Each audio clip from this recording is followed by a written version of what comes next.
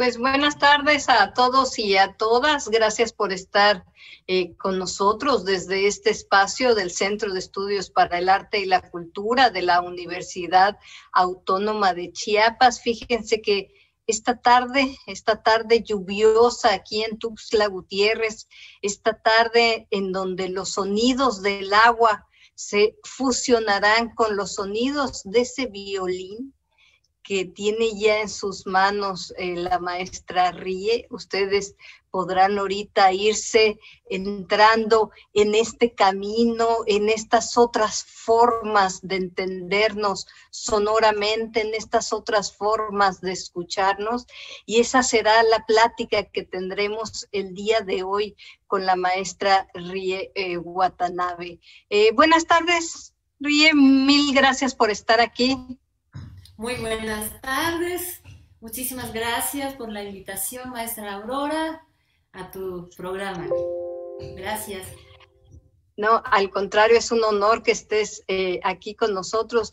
Les he de contar, bueno, que Rie tiene un, un currículum muy, muy amplio. Yo destacaría que ella empezó a tocar el violín a los cuatro años allá en la ciudad de Yamaguchi, en Japón. Y fíjense que por ahí de 1985, en una convivencia esta que se da entre países, entre Japón y México, ella tocó para la emperatriz eh, real Michiko ya me dirás si lo digo bien o no, porque lo, digo como lo leo. Y ahí se, se, empezó a empapar, empezó a escuchar estas sonoridades de este otro lado del mundo, ¿no? Estas sonoridades de México. Y ahí, después de estar con esos otros eh, niños y niñas eh, mexicanas, donde compartieron el escenario, pues decidió estudiar y venirse a México. Así que por ahí de 1989, ella ya fue ganadora del primer lugar en el concurso nacional de los jóvenes solistas organizado por la Universidad eh, Nacional Autónoma de México y ahí debutó como solista, ¿no? En un concierto tocando un concierto eh, de Brahms con la orquesta sinfónica. Después, bueno, la vida la lleva a, Illinois, a Estados Unidos, eh, donde estudia ahí en la Juilliard School of Music en Nueva York, y ahí se, se graduó con este premio, con esta em, parte que se llama el cum laude, que es el máximo galardón que te puede dar una universidad, ¿no?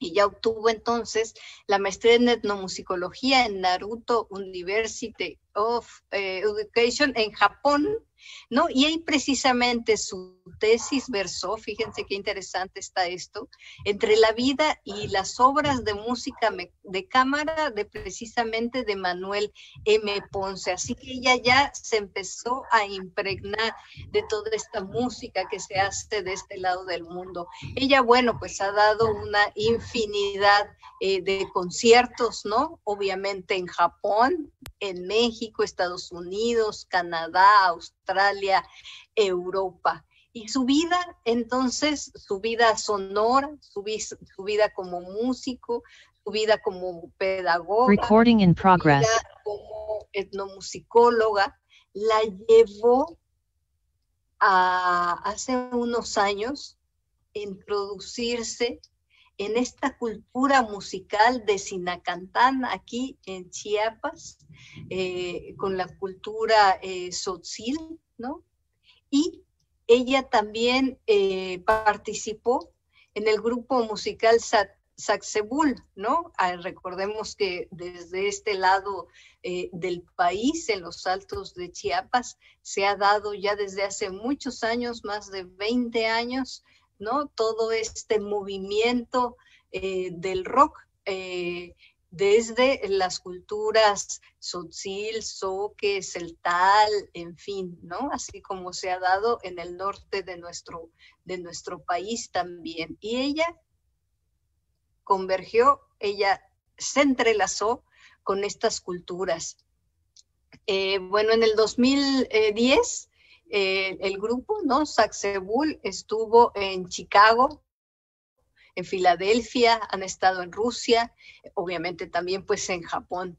Em, eh, la maestra Ríe, entonces, pues eh, ha tocado con Pasatono, nuestros queridos hermanos de Pasatono, allá Patti, con Rubén, que desde aquí les mandamos un gran beso y un abrazo, ¿no? Y ella ha impartido también múltiples talleres, ¿no? Tiene uno denominado, denominado Automodelo para las músicas de la tradición oral en Oaxaca, ¿no? Y también eh, este, este, esta metodología, este taller, eh, se llevó a cabo también en Japón.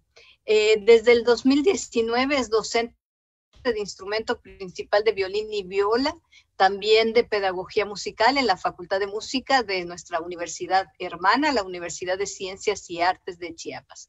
Y bueno, actualmente ella es la presidenta de la Academia de Cuerdas ahí mismo en la universidad. Podríamos pues internarnos, hablarnos, pero yo quisiera eh, más bien ya darle esta palabra, esta voz, este eco a la maestra Rie. Muchísimas gracias. Este, antes que nada, agradezco a todos ustedes y me gustaría compartir esta eh, primera canción. Este, en vez de hablar, que hable mi instrumento que siempre desde los cuatro años estoy con él. Esa que se llama es este, mi propia eh, canción y que se llama La canción de cuna a la madre tierra. Y tiene ahora sí dos variaciones con el ritmo de los altos de Chiapas.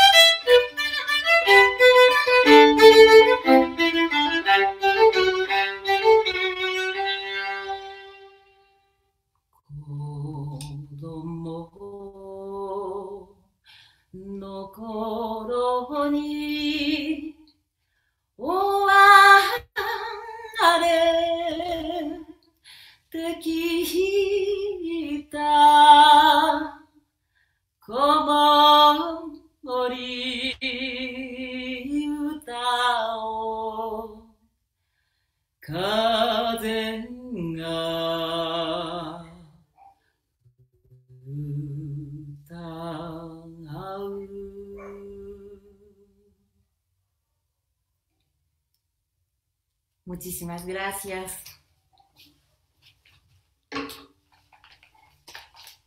Pues es una belleza lo que acabamos de escuchar, Rie, porque precisamente en esto que nos compartes, que es una canción de cuna a la madre tierra, podemos ir sintiendo toda esta ritualidad, ¿no?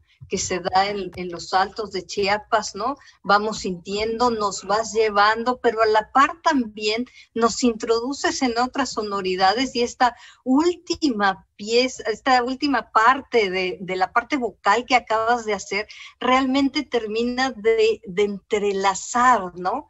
Y con esto constatamos, mira, estoy con la piel así chinita, me dejas en una emoción, porque no solamente es una cuestión de un lenguaje común o de un, eh, una cosa eh, común decir eh, que la madre tierra está ahí, ¿no? Sino más bien es esto, o sea, hacerle este reconocimiento, ¿no? Y que los seres humanos hemos perdido esta capacidad de darnos cuenta que somos parte de la naturaleza, ¿no? No tenemos por qué tener el control de la naturaleza y una pieza o una canción como la que nos acabas de compartir, nos lleva toda esta reflexión, además de cómo las músicas, ¿no? Las diferentes músicas eh, se pueden entrelazar, pueden compartir y pueden dar un resultado que sea experimentado, que sea vivencial por personas de diferentes culturas, ¿no? Así que pues te agradecemos muchísimo. Entiendo que tú eres la, eh, eh, que es una composición tuya, ¿no? Eh, y que nos has llevado, pues te digo, en, este camino realmente de, reflexión, ¿no? Desde esta parte sonora, de, de reflexión de, de, lo que estamos haciendo como seres humanos, ¿no? De reflexión de las diferentes músicas que pueden realmente convivir, entrelazarse, fusionarse, identificarse y estar. Compártenos, Rie, ¿cómo, cómo fue tu proceso para llegar a esta pieza? este, para ser preciso, este es la colaboración, ¿verdad? Este, primera parte, mera primera parte, este es la composición de un pájaro que vive en la comunidad y una mañana me levanté escuchando eso de tiram pam, taratatan, pam, param, pam. Y yo dije, wow, qué bello, qué creativo, ¿verdad? Entonces sí, anoté rápidamente desde la cama y me nació para continuar. Entonces, la verdad, sí, la iniciativa fue el pájaro que vive ahí sí, cerca de la casa. Y este, primera canción es la canción de cuna. Ahí narra este, en japonés, que es mi lengua, este, la canción de cuna que yo escuchaba de mi niñez, ahora oigo en la naturaleza. Y sí, este, cuando hay lluvias, tormentas, pero los árboles ahí viven, si tiene una vida larga y no resiste, ¿verdad? Entonces sí este, está aceptando la naturaleza. Y primera este, variación es con el ritmo de bolonchón, de los altos, casi como himno de los altos. Y entonces ahí un poquito esto sí, este, cuando toco esa variación y estoy imaginando los danzantes danzando. Y variación 2, que es el son de Sinacantán, de los dos pueblos que yo admiro mucho y respeto y, los quiero mucho. Y ahí tan, tan, tan, toca, tan. Y entonces, sí, aunque yo estoy tocando, sí, solo con el violín, pero escucho en mi oído interior que sí son tambores y pito que dicen, sí, este flauta de carrizo. Y claro, hay más variaciones, este, según cuando viajo en Oaxaca o sí, este, aquí en Chiapas también en las comunidades hay otras variaciones, sí, este, de donde sí estoy en ese momento, entonces va creciendo. Sí, como tú dijes, eh, tú, bien que dijiste, sí, como tejer, ¿no? Entre tejer de un pueblo a otro. Y eso fue mi, sí, inspiración, gracias a los pueblos de aquí. Pues gracias por compartirlo, realmente una, una belleza esto que acabamos de escuchar y quiero también aprovechar darle la bienvenida al maestro José Ovilla, quien también es parte del Centro de Estudios para el Arte y la Cultura, y preguntarte, Pepe, ¿qué sentiste al escuchar la pieza? Antes que, antes que nada, buenas tardes, maestra buenas tardes, Aurora, buenas, buenas tardes. La verdad que estupendo, ¿eh? La verdad, eh, creo que me transmitiste lo que decías, Aurora, fue algo muy, muy, muy bonito, la verdad. Eh, admiro esta parte, ¿sí? Pero sí, se siente como que se enchina la piel, ¿no? Al escuchar la interpretación en el violín, ¿no? La verdad que muchas gracias por, por, estar con nosotros, gracias por estar en este espacio, en esta charla que tenemos todos los lunes eh, a partir de las 7 de la noche. Y que bueno, se transmite a través de nuestras redes sociales del Centro de Estudios para el Arte y la Cultura de la Universidad Autónoma de Chiapas bienvenida y es un placer escucharla y saludarla. Muchísimas gracias, igualmente. Rie, si desde los cuatro años tienes un violín en tus manos, desde los cuatro años empezaste a explorar sonoridades, ¿no? Desde los cuatro años empezaste a sentir el arco, a oler la madera, ¿no? A sentir el cuerpo del instrumento. Si desde los cuatro años te has especializado, ahorita que no quiero decir que estés viejita, pero ya pasaron un buen de años desde los cuatro años para acá, ¿qué significa en tu vida el violín? Es, este violín es como mi amigo o mi testigo más bien de mi vida. Todo lo que ha pasado, Claro, sí, cuando empecé a los cuatro años, claro, empecé con un violincito muy pequeño. Es como los zapatos, ¿verdad? Va cambiando la talla según el tamaño de nuestro cuerpo. Entonces, sí, este violín ya lo tengo desde ya más grande, pero sí, violín significa que pues ahí es como un compañero, de vida. ¿Y qué ha significado para ti cuando ya llegas a estas tierras, no? A acercarte pues a los rabeles, a los violincitos que se, que se fabrican, ¿no? De, en la parte tradicional. ¿Cómo, cómo fuiste tú entrelazando, ¿no? estas eh, diversas sonoridades y estos diversos instrumentos, ¿cómo los has ido eh, haciendo tuyos. Sí, así es. Es el encuentro o reencuentro con mis ancestros. Así sentí cuando llegué a los pueblos originarios de acá, en esta tierra, en Chiapas, especialmente, y, oliendo ya humos así de las leñas que salen de cada casa y yo dije, pienso que aquí había estado, ¿no? En algún momento de mis otras vidas. Y eso lo que no había sentido en mi propio país. porque tanta modernidad y, ya no hay, ya casi no, no hay estas casas, en donde me acuerdo que sí, en la casa de mis abuelos todavía usaban sí, las leñas para cocinar, sí, había ollas ahí, sí, este, entonces yo siempre sentía en mi propio país sí, dentro de tantas, sí, tantos cambios muy rápidos ah, con la tecnología. Y entonces sentía, uy, sí, yo me equivoqué de la época en que sí, pues nací, ¿verdad? Sí, me hubiera gustado, este, pues, nacer como 100 años antes, así sentía desde muy pequeña.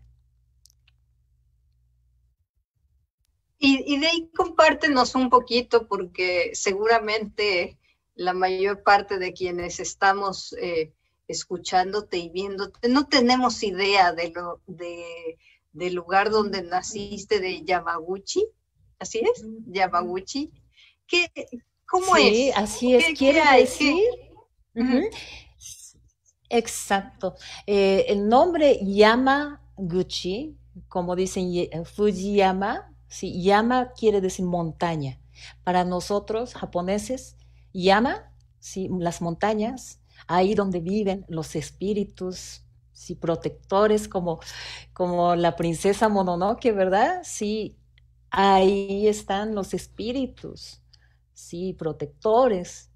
Entonces sí, este, tenemos esa, esa creencia, sí, ancestral no necesariamente esto no es religión, sino nuestra creencia más antigua que en las montañas. Las montañas eh, son sagrados.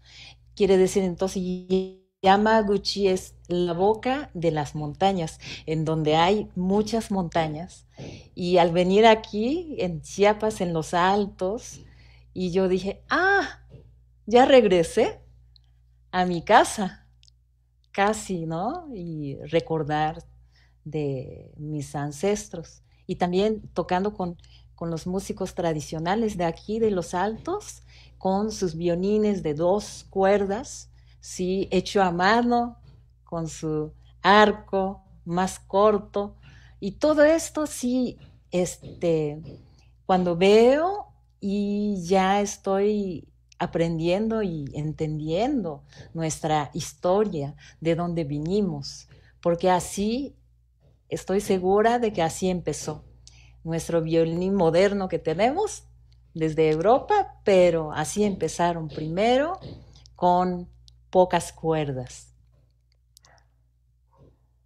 Sí, es seguramente así habrá sido en aquellos comienzos y me encanta esto que nos compartes de la boca de las montañas, ¿no? Hasta, digo, no sé, a ver, dímelo otra vez en japonés.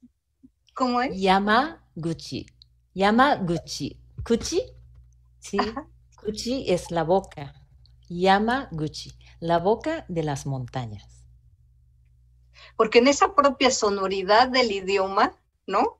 o sea, tú que obviamente lo hablas bien el japonés, está ahí como esa sonoridad nos va, ¿no? Nos lleva, nos interna, ¿no? En estas, en estas montañas, ¿no? Yo me imaginé eh, eh, no, solamente las montañas, literalmente, ¿no? Sino me imaginé este, este espacio, ¿no? Este espacio que permite esta conjunción de montañas, una sonoridad de la naturaleza increíble, ¿no? Como sucede aquí también en los altos de Chiapas, ¿no? Como estas, estas eh, espacios naturales te permiten, ¿no? Eh, eh, escuchar estas sonoridades y como bien tú decías, ¿no? Los pájaros que se vuelven fundamentales, ¿no?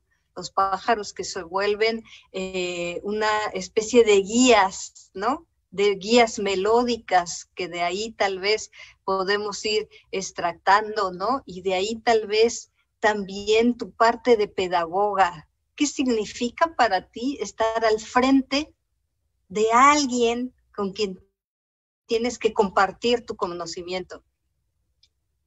Claro, con una palabra, enseñar es aprender.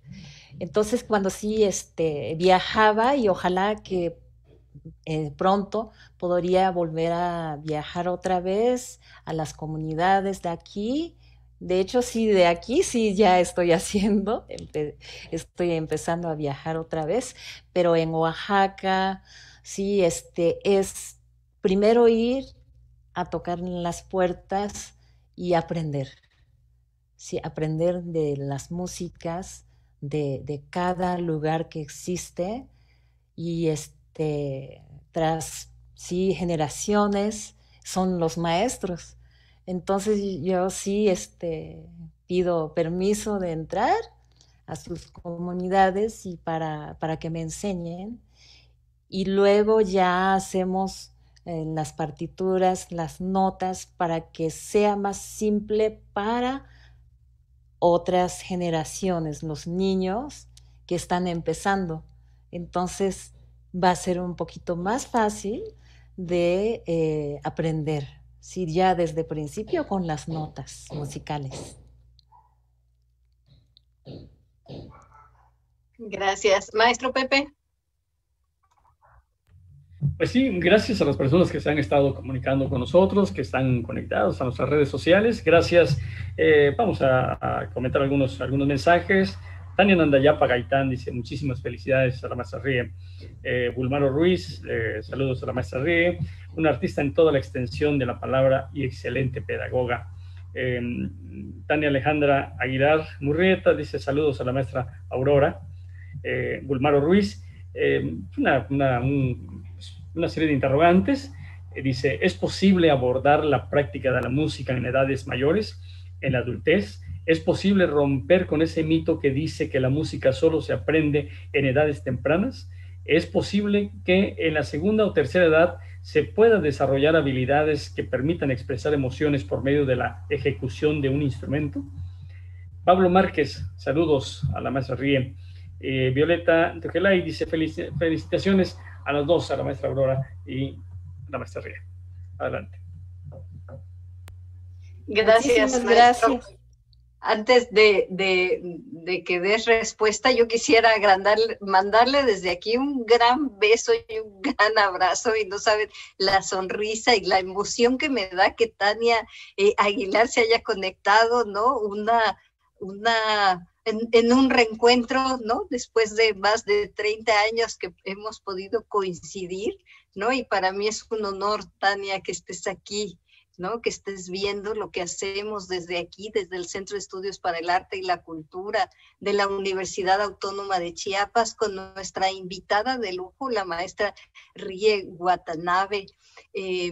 Em, como hemos estado platicando con ella, eh, eh, ella empezó a tocar el violín a los cuatro años allá en, en, Japón, en, a ver si lo digo bien, Yamaguchi, ¿no? Y que la vida la trajo de este lado, ¿no? A seguir eh, sembrando, a seguir cosechando. Y quisiera, Rie, contestarle al maestro Bulmano Ruiz.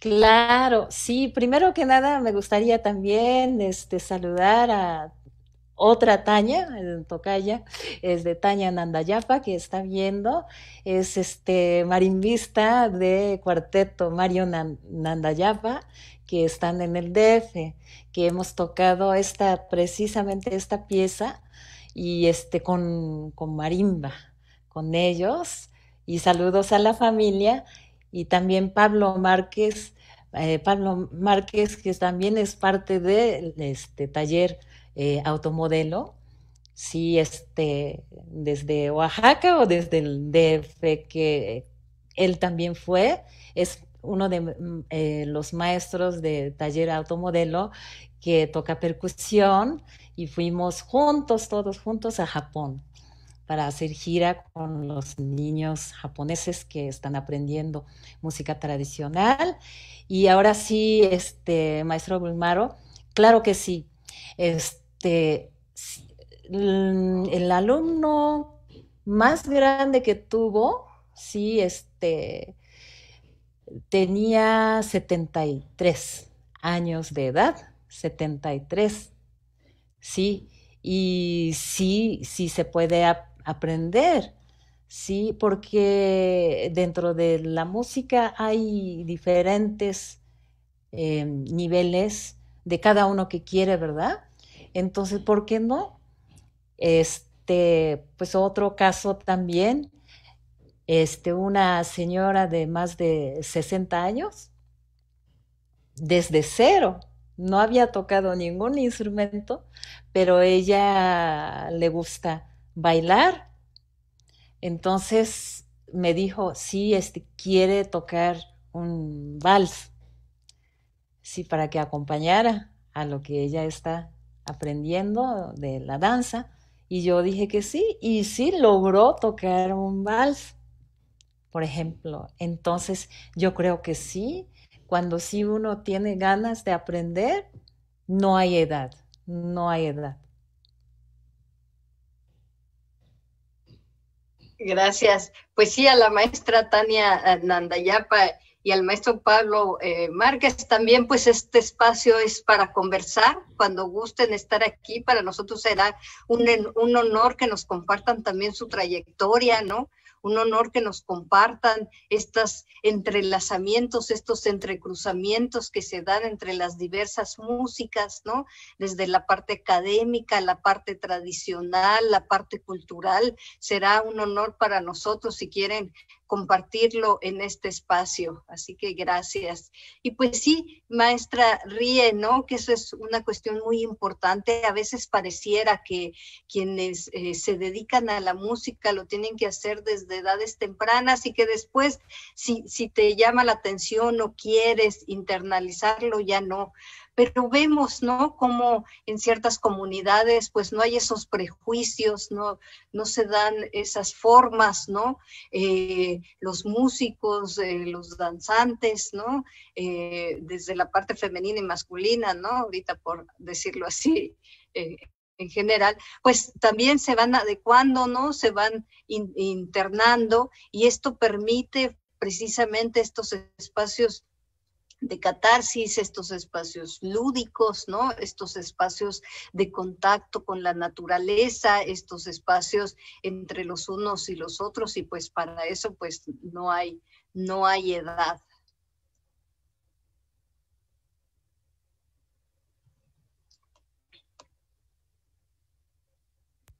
Sí, así es. Sí, Aurora, eh, muchísimas gracias porque sí, a mí también este, siempre me gusta aprender eh, cada día. Siempre sí digo, hoy quiero aprender algo nuevo, mañana también, cada día me levanto diciendo, a ver qué puedo aprender hoy. ¿No? Y es la curiosidad que tengo siempre dentro de mí y eso es lo que sí me empuja para viajar, para conocer diferentes culturas. Pues he de, contarte, maestra Rie, y a quienes nos están viendo y nos están escuchando, eh, que desde este espacio también eh, fortalecemos mucho la parte sonora de los idiomas, ¿no? Y bueno, pues aprovechando que estás aquí, eh, quisiera que nos dijeras algo en, japonés porque, y que nos expliques, ¿no? Que esta diversidad eh, lingüística como la tenemos en México, pues también la, se, da en Japón, ¿no? No es solamente un solo idioma, sino hay una infinidad de idiomas y de idiomas eh, eh, maternos, ¿no? Como le decimos aquí, o idiomas pues ancestrales. Y, y además, el español, ¿no? ¿Cómo adquiriste este español? Hablas un español, eh, o sea, perfecto, no, no hay estas partes de a ver qué quiso decir, ¿no? Sino hay esta, esta comunicación. ¿Y cómo fue que entonces tu cerebro fue o ha ido, ¿no? internando el, el japonés, ¿no? Si es que también tienes alguna variante y después de hablar el español, pero ahora estás en contacto con el sotzil, ¿no? Con el celtal, ¿no? ¿Qué significa esto para ti sonoramente, ¿no? Si, dejemos más allá el que si entiendes las palabras o no, sino es la sonoridad de los propios Claro, claro. Por ejemplo, ahorita voy a saludar a este, el pueblo, los eh, pueblos de Japón para saludar desde aquí de Chiapas. Minasan, konnichiwa. Watashi wa Watanabe Rie desu. えー、今日は今ライブなんですけれども、えー、アウローラ先生に、お誘いいただきまして、うなちという大学から、えー、招待していただきました。今はこのインタビューを生放送で、えー、お届けしています。皆さんもまたよかったら、えー、どうぞ参加してください。Eso fue eh, diciendo que pues hola a todos, muy buenas tardes. Sí, en los que están escuchando, muchísimas gracias por estar con nosotros. Y este, gracias a, a través de la maestra Aurora de la Universidad UNACH, sí, me invitaron este, amablemente para estar en este programa y que, que estén escuchando. Gracias, así dije. y precisamente... muchísimas gracias, porque es precisamente... Sí, quería agregar una cosa más, este, porque me fascina pensar en diferentes lenguas. Claro, la música para mí también eh, tiene mismo significado. Sí, este, para interpretar lo que sentimos es una manera de expresión. ¿verdad? Entonces, cuando escucho a la expresión de Tzotzil, cuando dice eh, Nichim Konton o Nichimal Konton, si quiere decir, mi corazón está llena de flores, corazón florida, eh, florido, quiere decir, estoy contenta, pero es tan así poética y hasta podemos imaginar como pictogramo, un pictograma de un corazón lleno de flores, porque estoy feliz, ¿no? Y, creo que, pues ahí sí, este, pensando en eso, porque sí, en lengua maya, sí podía expresar, sí, a lo máximo combinando, sí, pictograma y también, sí, este, como letras de, eh, letra, ¿cómo se dice? Del sonido, ¿no? Combinación es igual como japonés. Entonces, si este, nosotros sí este, usamos símbolos de que cada cosa tiene un significado y combinamos, por ejemplo, cuando nosotros decimos isogashi, quiere decir estoy ocupada. Isogashi. Pero usamos dos caracteres que uno es corazón, otro es perdido. Estar ocupados es perder el corazón. Entonces, cada vez que decimos isogashi, quiere decir perdí mi corazón. Entonces no quiero estar ocupada. ¿no? Cosas así. Entonces, eso veo mucho en lengua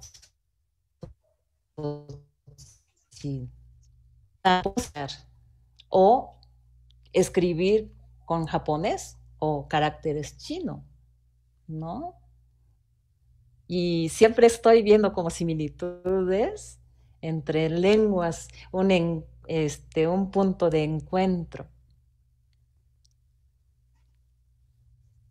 Sí, claro, qué, qué fuerte lo que nos acabas de compartir de ahorita mi corazón no está disponible, ¿no? Casi, casi ahorita ando en, en otro rollo, en otro canal, no, no, no, no me pidas nada, no me inmiscuyas, ¿no? Y esta otra parte de ahorita mi corazón está realmente contento, entonces estoy dispuesta a darlo todo, ¿no? Porque están todas mis emociones, está eh, todo lo que soy, ¿no? Todo lo que quiero dar. Y, me encanta estas, estas eh, formas que nos compartes, porque también sucede en la música, ¿no?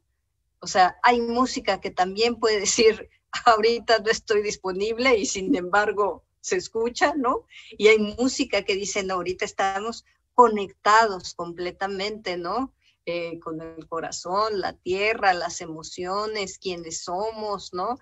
Es eh, como desde diversas perspectivas nos ubicamos en esta parte de ser escuchas, ¿no? Pero en esta parte también de ser, de ser música, ¿no? En esta parte de, de, de, de arraigarte, ¿no? Con las diferentes eh, sonoridades. Y cuéntanos, maestra Ría, del cuadro que tienes allá atrás. Sí, presumiendo. Sí, mi tesoro que había este pintado mi querido hermano de corazón, Tesh López, sí, de Chamula. Y pues él pintó de mí con, siempre sí ando también este, eh, con ropa tradicional de Chamula y sí es este mi sí este mi dibujo ahí atrás y aquí también sí es un poema este en japonés. Y, y dice ahí que en el capital del viento hay una garza sí una garza en el capital del viento entonces sí, este, con tan solo pocas, eh, pocos caracteres, dice, díselo todo, ¿no? Entonces es como una fusión de dos culturas aquí atrás. Sí, en este diálogo entre culturas finalmente también, ¿no? Y en este diálogo al que tú te enfrentas eh, día a día. Eh, maestro Pepe. Pues bueno, eh, la verdad que muchas gracias a todas las personas que se han, se han comunicado a través de nuestros mensajeros, a través de, Facebook, de nuestras redes sociales. Gracias a Denny Flor, dice saludos maestra Rie, le mando un fuerte abrazo. Y bueno, muchas gracias, la verdad, a todas las personas que nos siguen. Recuerden, todos los lunes tenemos una cita a las 7 de la noche a través de las redes sociales del Centro de Estudios para el Arte y la Cultura de la Universidad Autónoma de Chiapas.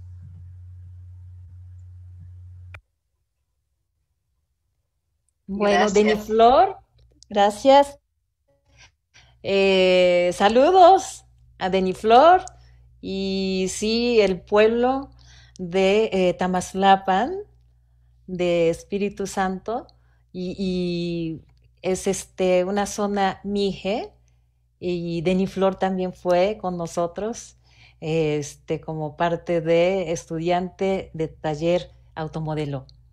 Entonces, si desde Oaxaca, si este es nuestra alumna y ella está dando clases de violín a los demás niños de una agencia que se llama Santa Rosa, tiene una orquesta y próximamente quisiéramos hacer un encuentro con los niños y jóvenes de Ocosingo de aquí, Ocosingo de Chiapas en donde nosotros como equipo de los maestros este, hemos ido a sus comunidades.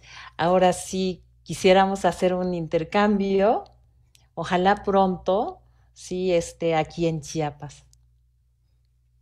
Pues eso sería maravilloso, nos encantaría que pudieran compartir. E igualmente, maestra eh, Denny Flor, si quieres este espacio, compartirnos esto que estás trabajando con los niños, ¿no? Desde desde allá de Oaxaca es, muy importante porque em, no solamente difundimos ¿no? lo que se hace, sino también vamos poniendo al alcance de personas que no tienen mucho acercamiento a estas otras eh, músicas, a estas otras formas eh, sonoras, ¿no? E ir, ¿no? Contextualizando e ir poniendo en dónde se desarrollan, cómo se desarrollan, ¿no? Y cómo van entonces caminando en el tiempo, caminando en esta garza, como ya nos decía la maestra Rie, ¿no? Cómo vemos esta garza, ¿no? Este, animal eh, que, que podemos, ¿no? Agarrar una patita, subirnos a su lomo, ¿no?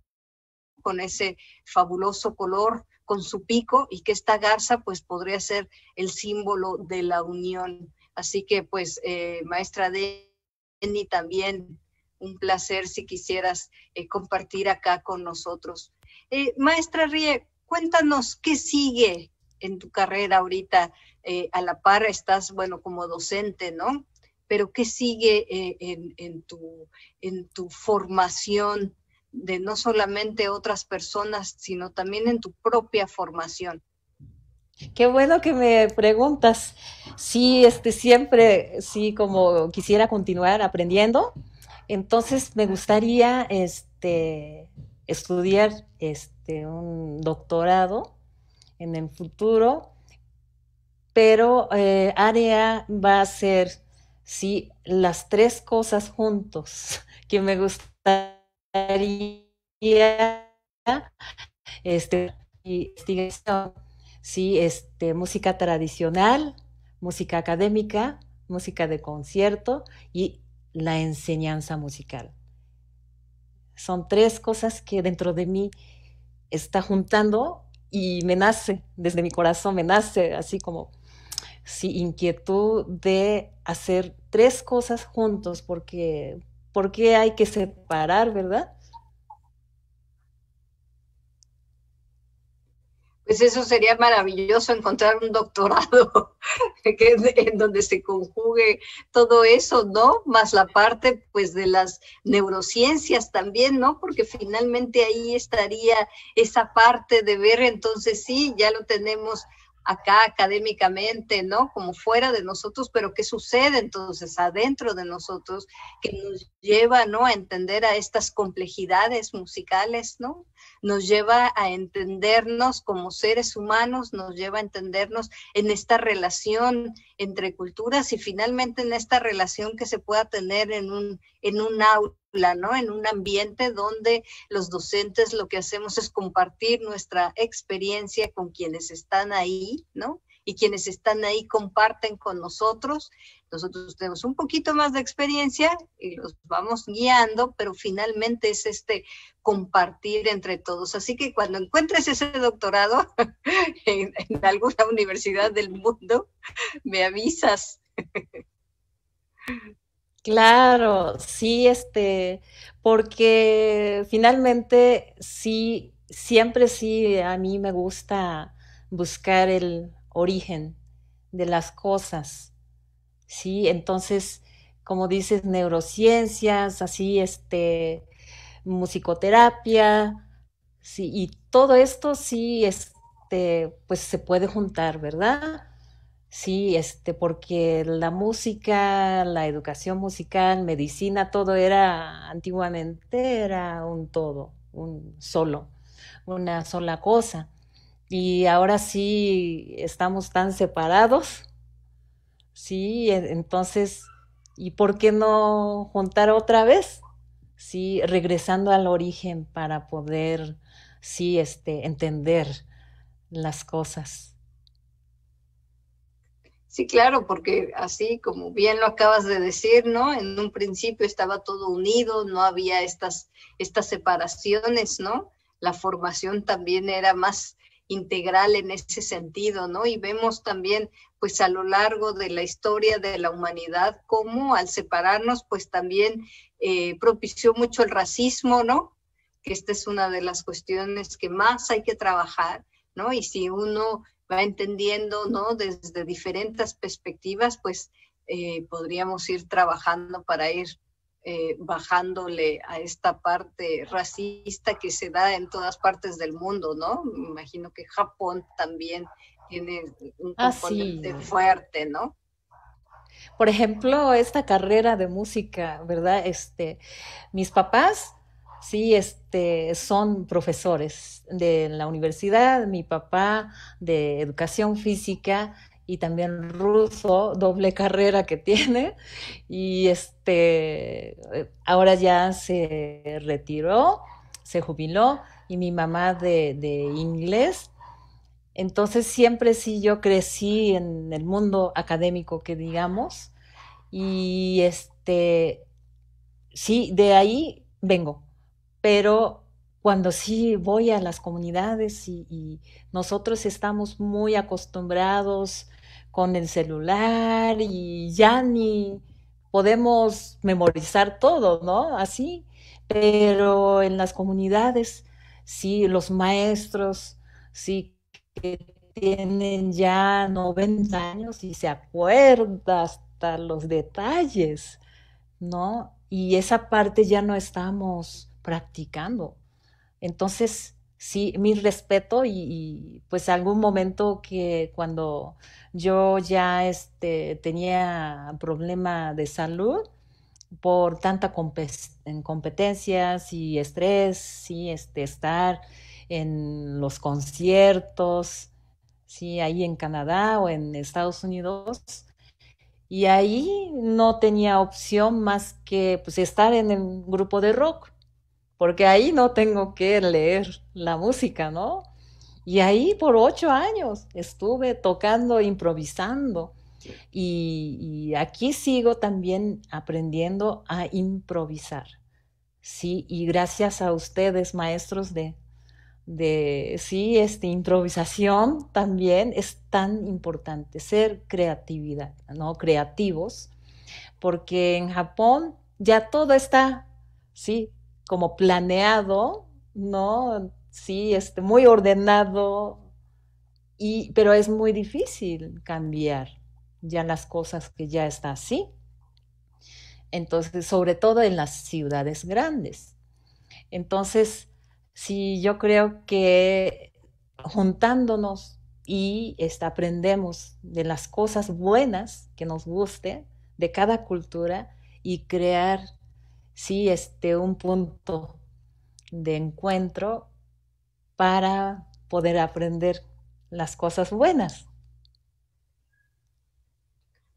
Sí, porque eso que nos compartes de esta disciplina o de este no te puedes salir de aquí que hay en Japón, ¿no? no nos, nos, hay veces que nosotros decimos, híjole, ¿cómo no somos tan disciplinados? Como los japoneses, ¿no? Como lo vemos ahorita en esos videos de los niños, ¿no? Llegando a las escuelas con todo este asunto del COVID, ¿no? Y los niños de chiquititos, ¿no? Tres, cuatro, cinco años los ves perfectamente formados, no se están jalando el cubrebocas, ¿no? Llevan su, su careta, sus guantes o, o les dicen aquí va a ser el orden para que te demos tu gel y los niños están ahí. Y aquí vemos entonces cómo eh, en este posible regreso a clases, ¿cómo, cómo va a hacer eso, ¿no? ¿Cómo controlas esto, ¿no? Y esto tiene que ver, pues, obviamente, con esta cuestión cultural que, que nos estás este, compartiendo, ¿no? Pero también está esta otra parte que me encanta cómo lo dices, que ustedes son, eh, ¿cómo dijiste? Eh, maestros en la improvisación, ¿no? Y claro, finalmente es eso, ¿no? Porque si un día se te queda tu coche y no lo puedes jalar, eh, masticas el chicle, le haces ahí, boom, haces que tu coche vuelva a, a caminar, ¿no? Digo, es un ejemplo muy eh, que, pero sí sucede porque yo lo he visto, ¿no? Pero sí, ¿no? Y entonces es como compaginas, ¿no? estas partes, cómo las vas construyendo y desde la parte musical me encanta también que digas esta parte de, de este estrés en el que se te mete como concertista, ¿no? En este estrés que se te mete de que tienes que lograr esto, tienes que tocar en tales lugares, ¿no? Para que una cierta parte de la sociedad te diga que eres muy buena violinista, ¿no? Pero entonces, ¿cómo tú entraste en ese mundo y de repente dijiste, yo por aquí me voy mejor para allá, ¿no? Y como decías, estás en este reencuentro, ¿no? Con tus raíces desde aquí, porque finalmente aquí las estás sembrando, ¿no? Perteneces ahora ya aquí y, y, y, y resultado de ello fue esta canción de cuna que nos pusiste al principio, que no sé si, si quieres compartirnos alguna otra pieza, si tienes ahorita, si hay posibilidades o no, pero a mí me encantaría porque como escuchamos, ¿no? Con la canción eh, de cuna a la madre, a la madre eh, tierra, cómo nos fuiste, ¿no? Internalizando, nos fuiste metiendo, ¿no? En estos en estos diversos mundos sonoros, que eso es finalmente lo que tendríamos que ser, es cómo se compaginan, ¿no? Cómo se entrelazan, cómo, se vuelven uno solo. Así es, sí, muy interesante. Les voy a compartir eh, una cosa que estoy ahorita en, justamente en la búsqueda, porque estoy aprendiendo de Popol Vuh, eh, leyenda de aquí, y este, porque hay dos hermanos, dos gemelos, pero eso representa, yo creo, que representa dos hermanos que tenemos aquí en nuestro cerebro, este, eh, dos hemisferios. Y sí, este, cuando vayas, vayan a Japón, todo es al revés. Todo es al revés, hasta para volantes, sí, para manejar, todo es al revés. Entonces aquí estoy, ¿no? Improvisación, el sentimiento, todo es el sí, mundo de eh, eh, expresión intuitivo. Entonces sí, yo necesitaba esa parte para desarrollar, no nada más sí, el este, lado de conciencia, sino sí, porque nos jala la emoción, ¿no? Eso de neurociencia que habla de eso, inteligencia emocional y todo esto, para poder entender y para otra vez sentir esa este, emoción y analizarlo. Necesitamos un equilibrio, ¿verdad? Entonces, me gustaría al final eh, compartir una pieza más. Esto es, este, pues, continuación de lo que he compuesto. Esa parte es muy, este, ya esa variación es un poco triste pensando en sí antiguo tiempo de Japón. Voy a quitar audífono.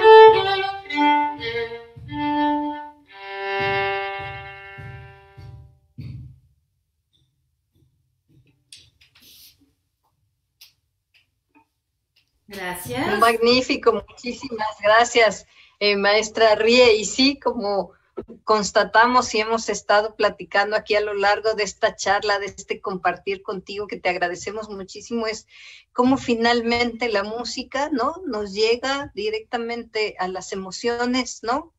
Eh, y no necesariamente es esto de entender estas, estos... Eh, estas sonoridades o estos lenguajes musicales, sino es cómo los adquirimos y cómo nos dicen algo, ¿no? En el momento que uno siente algo, quiere decir que está esta, está esta comunicación fluctuando. Eh, maestro Pepe. Pues la verdad, ¿qué más? No, excelente todo esto, bellísimo. escuchar a la maestra Rie. Y bueno, pues agradecerles a todas las personas que se han estado comunicando con nosotros.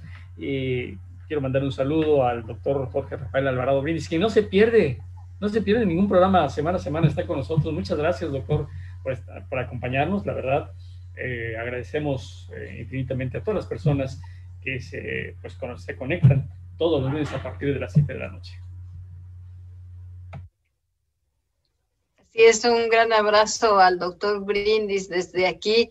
Espero que esté disfrutando tanto como nosotros de esto que nos está compartiendo la maestra eh, Rie Watanabe, ¿no? En esta, desde, eh, no quisiera yo hacer estas estas clasificaciones, pero digamos que desde su parte japonesa, ¿no? Su parte mexicana, su parte eh, ¿no? De cómo ella ha ido entrelazando y que finalmente eso es lo que nos une a los seres humanos, ¿no? Que tendríamos que trabajar, ¿no? Y que la música y las artes es un detonador muy importante, ¿no? Para esta unión y esta comprensión de los unos, los otros, las otras, las otras, en fin, todas estas diversidades que se van dando, ¿no?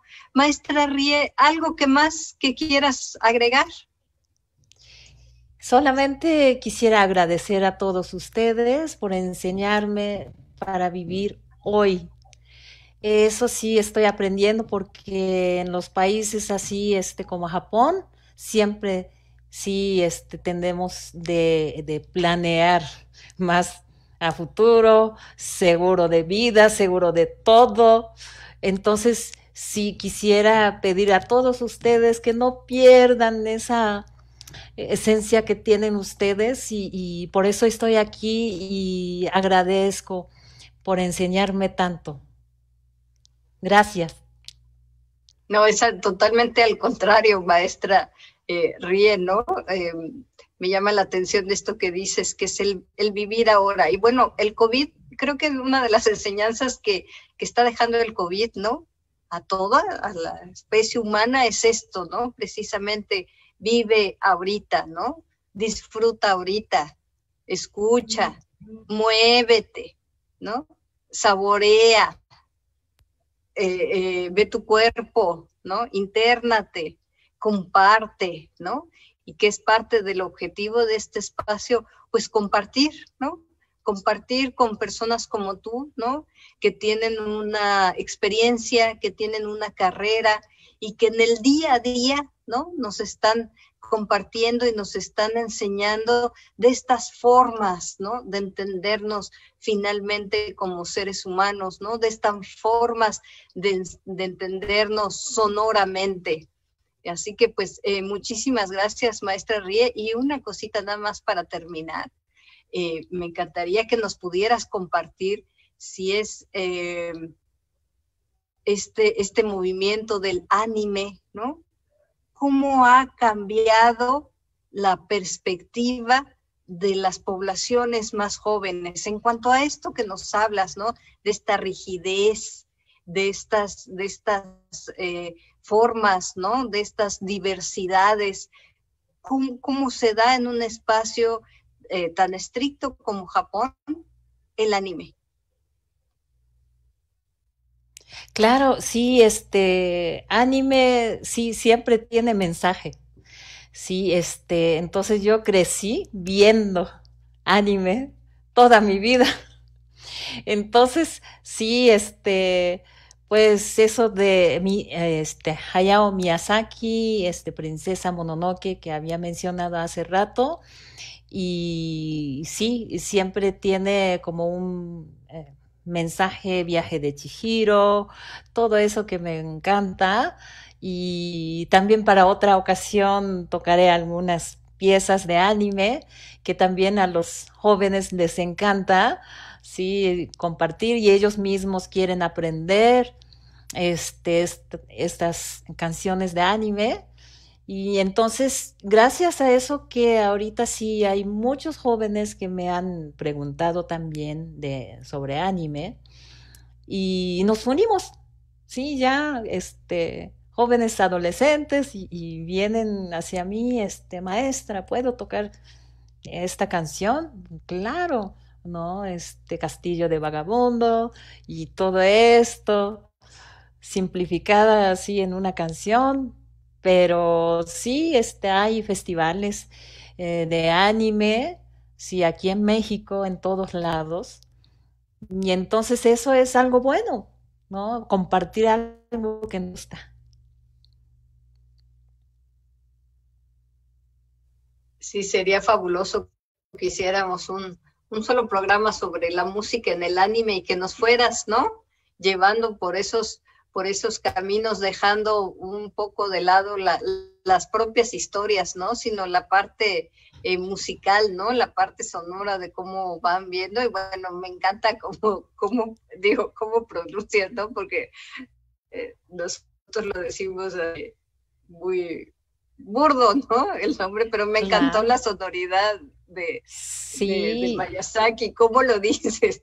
Sí, Hayao Miyazaki, Miyazaki, ¿no? Miyazaki.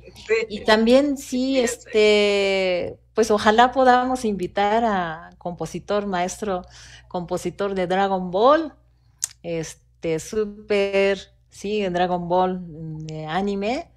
Y de hecho, sí, este, queríamos invitarlo presencialmente a un festival de aquí en Chiapas y él estaba bien dispuesto para venir, ¿sí? Porque pues él no es nada más compositor de Dragon Ball, ¿sí? Más conocido, ¿no? Pero este, él sí, este compone música de cámara, sí, para compartir con los jóvenes, para poder tocar juntos. Él toca piano y saxofón también. Eh, y sí, este, pues es multitalento, ¿no? Y él es como, como Goku de, de eso de anime, sí, multitalento, había vivido, sí, para entrenarse en la montaña, ahí en Japón, sí, me, me contó todo, ¿no? Y cómo había eh, superado de tantos así miedos, bueno este, para la próxima podamos sí hacer otra, otra sesión sobre anime. Pues eso, nosotros encantados. Así que pues, eh, maestro Pepe. No, no nos queda más que agradecerle. Realmente ha sido esta una charla excelente, la verdad. Eh, sobre todo escuchar el violín ahora sí, como dice, nos pone la piel chinita. La verdad fue un placer escucharla y, además escuchar también las interpretaciones que hizo Maestra. Mucho gusto de tenerla Muchísimas gracias, igualmente. Pues no queda más que agradecer también a quienes nos vieron y nos escucharon. El próximo lunes también tendremos una charla muy interesante. Y pues agradecerte, Rie, este espacio cuando cuando quieras que podamos otra vez conversar, ¿no? Que podamos compartir, ¿no? Todo ese trabajo tan, eh, em, no solamente importante, sino interesante, porque realmente haces esto, ¿no? Porque no es una fusión como tal, sino realmente es un entretejer, ¿no? Un entretejer músicas, un entretejer eh, sonoridades y que nos da eh, como resultado la canción de cuna que eh, nos tocaste maravillosamente al principio. Así que pues muchísimas gracias por estar aquí. Cuando gustes regresar, nosotros fascinados. Y también pues muchísimas gracias al Inge Alfredo que está que hace posible esta esta transmisión y a los compañeros de la Universidad Virtual. Así que desde este espacio del Centro de Estudios para el Arte y la Cultura de la Universidad Autónoma de Chiapas les agradecemos y nos vemos el próximo lunes. Adiós. Adiós. Nos vemos. Hasta pronto. Gracias. Gracias.